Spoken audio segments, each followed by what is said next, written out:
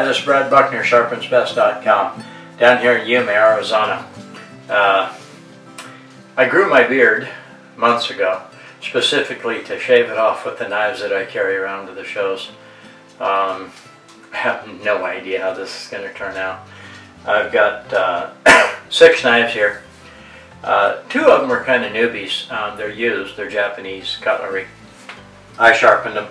Uh, I did take a kind of an aggressive whetstone and thin them down a little bit uh, and then work them over a little bit and then went to work with them uh, with my sharpeners uh, actually the little round poker chip style. And I should run out and grab it off the counter and let you see it. Uh, this is kind of a uh, dedication to a friend of mine. She said I think I like you better without your beard. I said, well, then I'll cut it off. Uh, today maybe is a time to uh, to cut it off. Um, I have absolutely no idea how this is going to turn out. Uh, I, I, see a lot of people say, oh yeah, my knife's sharp enough to shave with. Well, cutting a little hair off your arm isn't exactly shaving. Okay, I, I think that when they say I can shave with my knife. That means your face. That means the toughness, you know, of the whiskers. Uh, not just a little bit of hair on your arm. Uh, so anyway, I have six knives here, and I'm uh, not going to use uh, shaving lotion. I'm going to use actually a little hand soap. Um, a little bit slicker, I think. Uh, who knows? So anyways, let's uh, get some water and get going. I don't care how this turns out. I, you've heard me say this a lot of times. I try to just do everything like first run, one shot, see how it turns out, put it online. You know, there's no such thing as a failure. Unless I bet somebody I can do something and then I can't, and that's failure. Uh, that's that doesn't happen. Um, so anyway, uh, let's get the uh, knives. It's like, you know. Okay, something like this one right here. Um, that's a, a really big knife. And to say that I can shave with it, well, it's pretty damn sharp, so we're going to find out. Then we have my uh, kitchen knife, my chef knife, that I think is pretty sharp. And we're going to find out on that one. We have uh, a new, it's actually a used um, Japanese knife that I, I sharpened and cleaned up and tried to fix and do what I could with. We'll see. Uh, another one, a little bit, uh, a little bit longer, a little bit heavier, heavier in the handle. Uh, did the same there, kind of did the best I could to sharpen it. Took my uh, little keychain sharpener and, and, touched it up. Um, then I've got a kind of a new but old, uh, been around long time, uh, Swiss Army knife. It's actually a Marlboro uh, giveaway knife, and I think it's pretty sharp. Um, I took the, the poker chip and went over it quite a bit, and we're going to see. So, enough talking. Let's uh, let's. Maybe I should go down to the local pub and have a couple of screwdrivers and a rum and coke and maybe a couple of beers. Uh, who knows? Um, I just hope I don't bleed. This is Brad, sharpensbest.com. Go to YouTube forward slash sharpensbest and enjoy my videos. Alright, let's find out. You only get one chance at whacking a beard off. Cutting paper, stuff like that, yeah, you get lots of chances of beard. You just get one chance.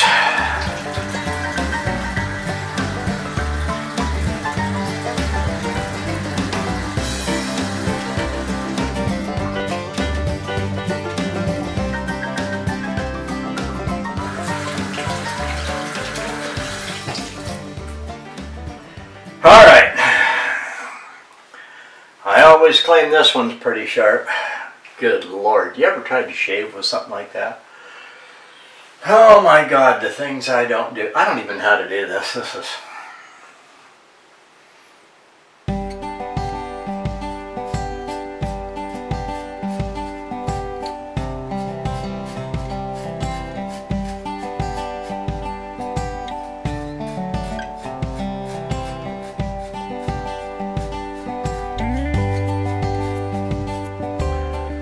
gotta believe it or not, it's cutting the hair off. Part of the problem with this is, how in the hell do you hold something like that so you don't cut half your face off? This is crazy.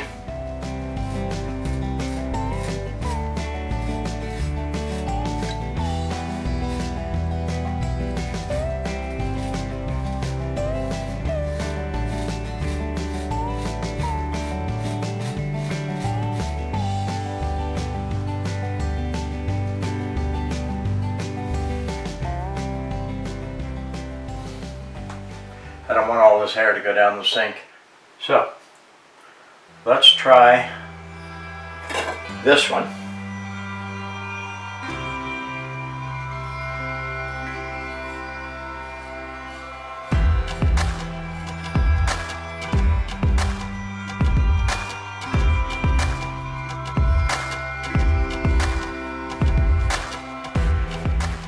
Much sharper.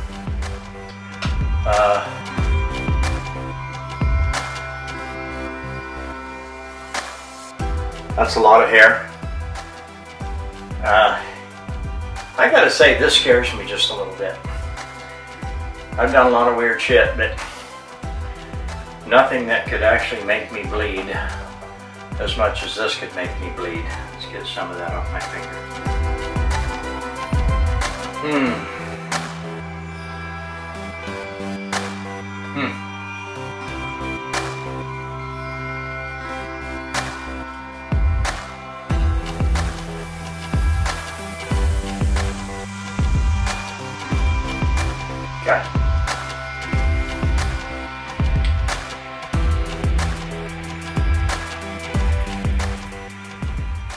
Been made nervous before?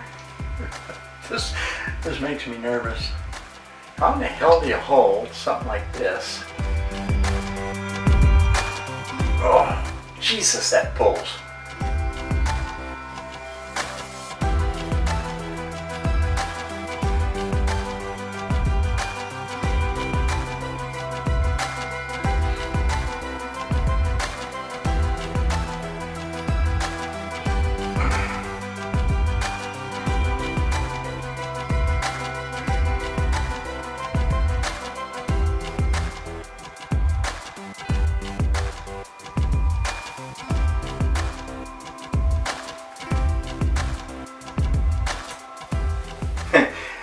This is probably about as quiet as you're gonna see me. All right, that one. Sharper than this one. Let's check the pocket knife CRKT.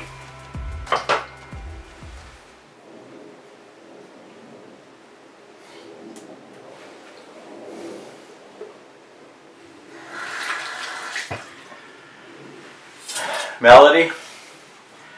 This is as goofy as you're ever gonna see somebody shave for you. CRKT pocket knife.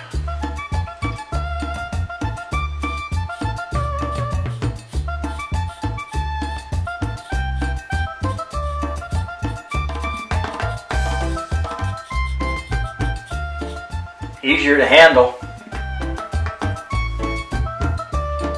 Pretty sharp.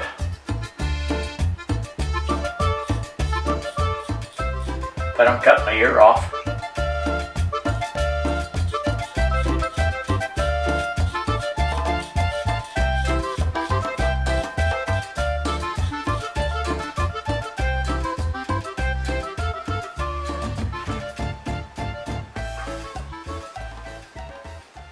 Little worried about trying to get that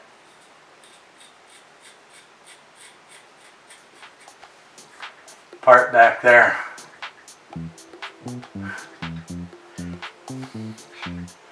All right.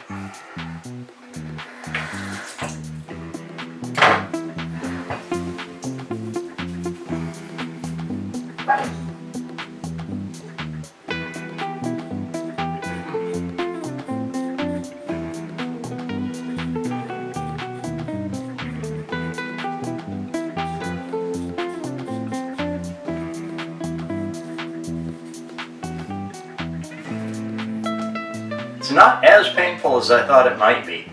I thought it might pull more. Knives are pretty sharp. Okay. My Swiss Army knife. Getting thinner.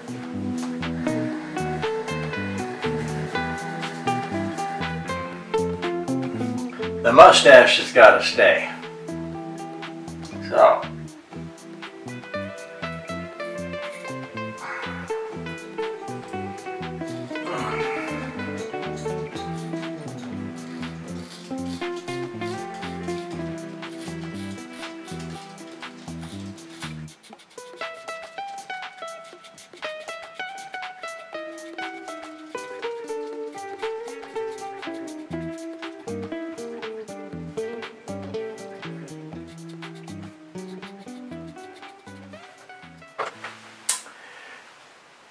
The little guy. I like shaving with a pocket knife better than I do my big Hawaiian knife. One, two, three, four, five, six, seven, eight, nine, ten, eleven, twelve, thirteen, fourteen, fifteen, sixteen, seventeen, eighteen, nineteen, twenty. I tell people if you're going to sharpen my sharpeners, you got to play the game. 10 on each side. When you're finished, take the little burr off the blade. Alright.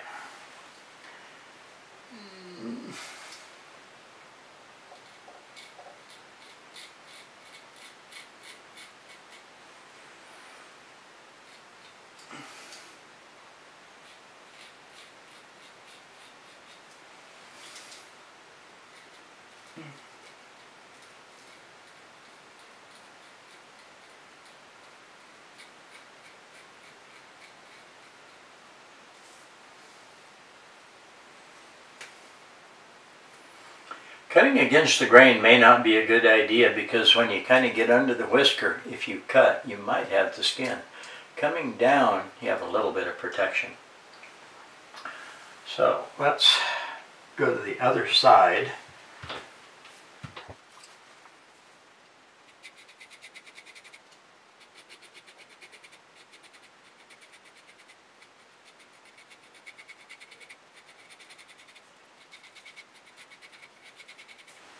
Okay, the pocket knife's working pretty good. It's easier to handle.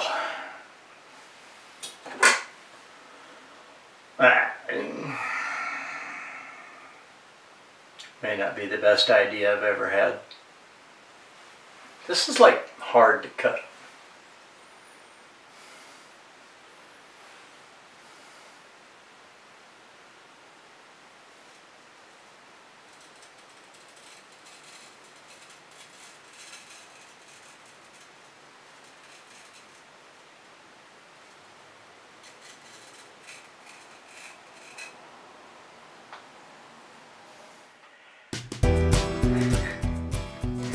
Well, this is Brad Buckner, sharpensbest.com. Uh, don't know how much the video actually got. Uh, I just shaved.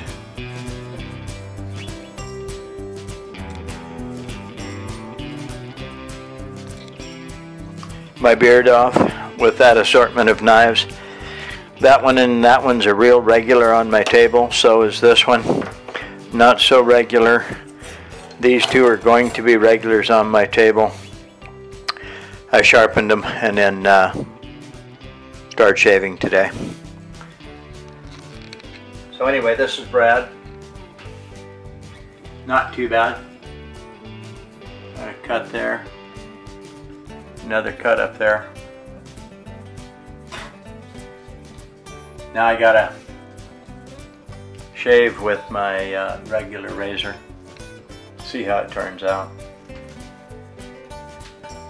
the goofy things I don't do.